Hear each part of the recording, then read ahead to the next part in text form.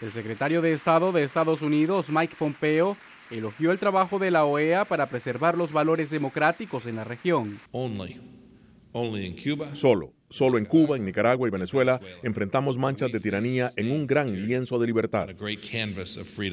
Los tres países con gobiernos socialistas recibieron las críticas del líder diplomático. Sobre Venezuela, Pompeo resaltó el apoyo de Washington al presidente interino Juan Guaidó y destacó el acompañamiento de más de una docena de países de la organización para presionar al gobierno en disputa de Nicolás Maduro. Revivimos el Tratado de Río, lo que condujo a una mayor restricción de viajes a Maduro y a docenas de otros funcionarios, y todos deberían saber que vendrán más acciones. Así siguió su mención sobre Nicaragua.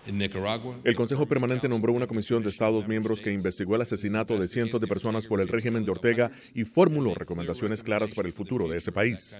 Los gobiernos de los tres países criticados han rechazado lo que consideran una política intervencionista de la Casa Blanca y de la OEA. Pompeo realizará su primera gira por la región esta semana en Colombia, Costa Rica y Jamaica y detalló uno de los objetivos de su viaje. Esta semana Colombia se basará en el buen trabajo que hicimos en Buenos Aires el verano pasado y en otra reunión ministerial sobre contraterrorismo.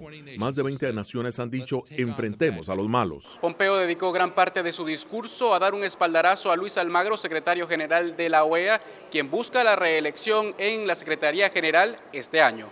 Desde Washington informó Jorge Agobián de La Voz de América.